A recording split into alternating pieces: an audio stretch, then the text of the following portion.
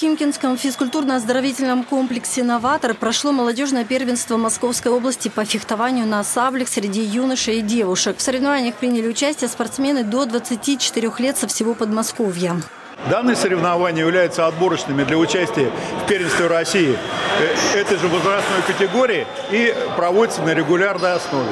Здесь участвуют спортсмены только региона Московской области.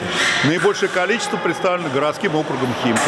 Фехтование – это олимпийский вид спорта и отличается от остальных тем, что здесь необходимо иметь не только хорошую физическую подготовку, ловкость, гибкость, но и обладать сообразительностью. К слову, техника атаки и защиты с рапирой, шпагой и саблей тоже имеют свои особенности. И, как рассказывают юные спортсмены, обычно не тренируются сразу на трех орудиях, а выбирают один и оттачивают мастерство на нем.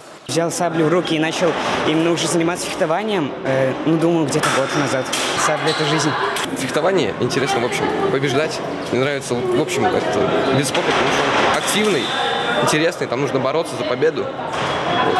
Я хочу, как бы, хоть какие-то соревнования уже выиграть. Спортсмены боролись за попадание в состав сборной Московской области. Сильнейшие будут отстаивать честь региона на первенстве России. По итогам соревнований лучшие результаты показали воспитанники химкинских спортивных школ и города Долгопрудный. Золотые медали завоевали Артем Смирнов и Екатерина Евтушенко.